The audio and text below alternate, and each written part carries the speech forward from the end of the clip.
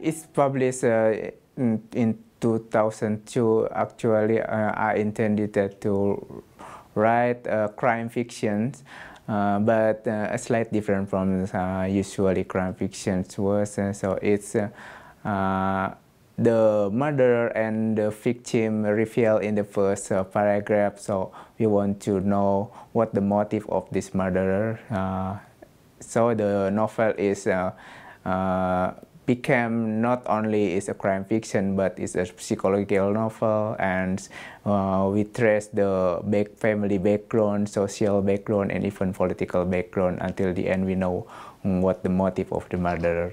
The tiger inspired by a local meat made in uh, Indonesia, and uh, especially in the part of uh, West Java.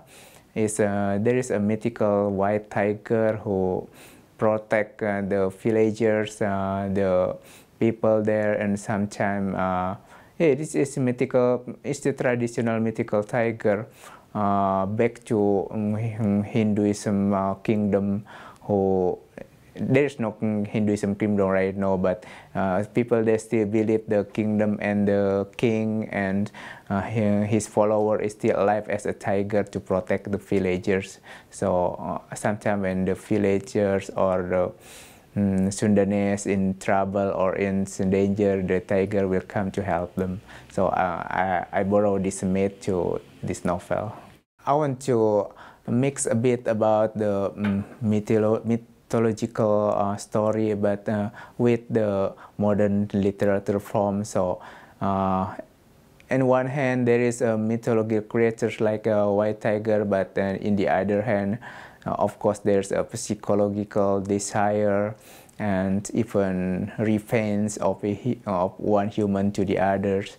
So yeah, I try to mix uh, the traditional folklore of Indonesia with a modern form of literature. I used to read some uh, pulp fiction novel when I was a teenager. I read uh, some romance novel, martial art novel, and even uh, um, horror novel, and of course the crime fiction. There is an influence from uh, the, the, works like from Dostoevsky uh, or the strangers Albert Camus and there is a, a, little bit of crime and in there. So I think it's not a real uh, crime fiction in the end. Uh, it's mixed up with everything there's in my mind to the novel.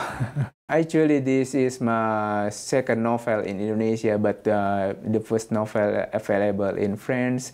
Uh, my first novel in Indonesia is Beauty is a Wound and I think the book will be translated into French and published next year. Uh, it a little slight different from this one because the the first book uh, is more thick and uh, more historical, uh, more uh, it's, it's like it's more like a ghost story. Uh, if the Man Tiger is a crime fiction in, intended to be a crime fiction and my first book is intended to be uh, a ghost uh, ghost story novel, but in the end it became a historical novel and uh, from the colonial era of Indonesia until the uh, Suharto um, presidency. And uh, there is a romance, there is a martial art, everything uh, in there.